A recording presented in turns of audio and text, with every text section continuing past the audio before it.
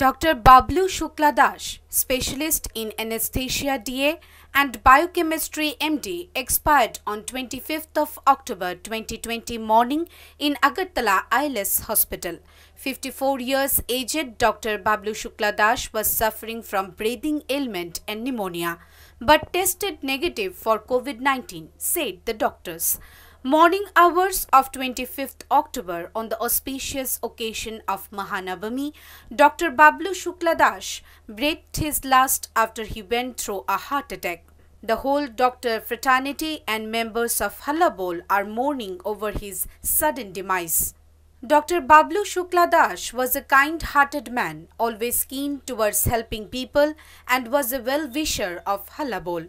He also used to host the Health.com talk show of Hallabol on every Sunday.